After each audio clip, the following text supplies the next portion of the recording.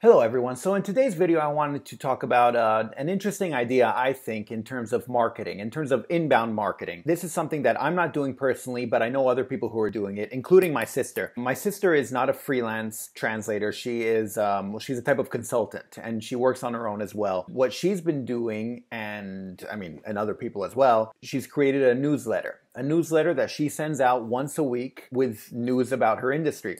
And the reason I thought this might be interesting for all of you freelancers, for you freelance translators out there, is because it's a good way to keep in touch. It's a good way for to keep at the top of the mind of people, but also to show that you are embedded in this industry.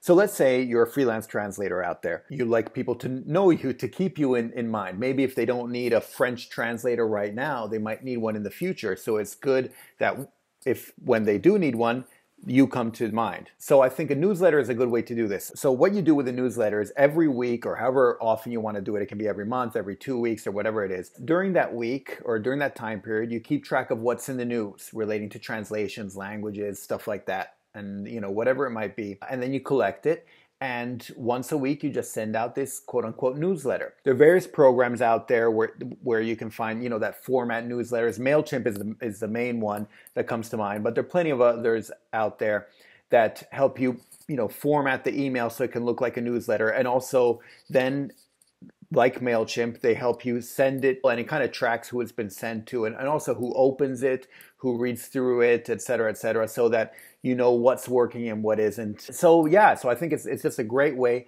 to keep in touch. Also to show that you're you're into this into the industry if you do french translations and it talks about translations it talks about the french language and stuff having to do with it then it shows that this is something that really matters to you and you know you're always into this world. It's just great for inbound marketing, meaning in terms of marketing, people fi- are finding you inbound rather than outbound where you go try to find them.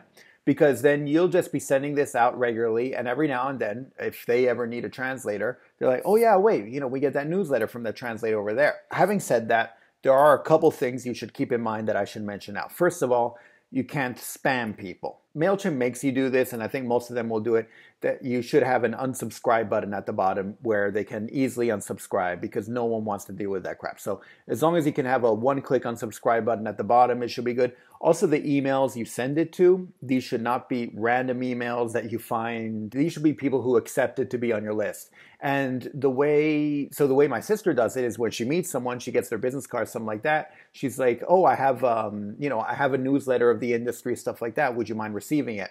And they say, yeah, sure. Usually when you meet someone, they'll say, yeah, sure. You know, they don't want to be rude. And then, you know, you'll, they'll see that you're not trying to sell them anything and, but you're just keeping them up to date.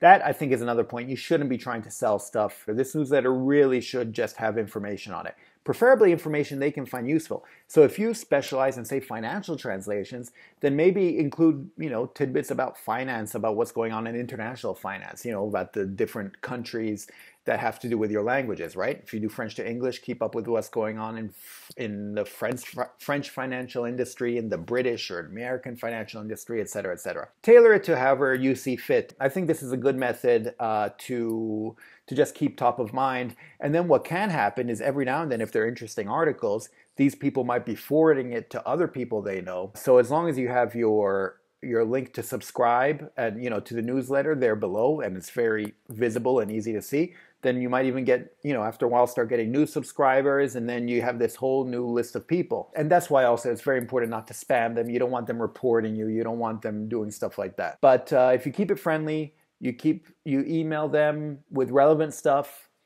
not too often, then I think it's a very good way to stay top of mind, and it's a very good marketing tactic that you can try. Again, I haven't tried it, so I um, I'd be very if you do try it, I'd be very curious to hear how it went, how it goes. If you are trying something similar, please let me know how it, how it's going and because I really like to hear about what success you've had with it or, or what issues you've had with it, et cetera, et cetera. Uh, and that's it. That was the idea for this video. Um, I hope you find it useful and uh, if and feel free to try it and let me know how it goes. Don't forget to subscribe and you'll get more videos like this in the future. And if you did find this video useful, please don't forget to click like because that always helps.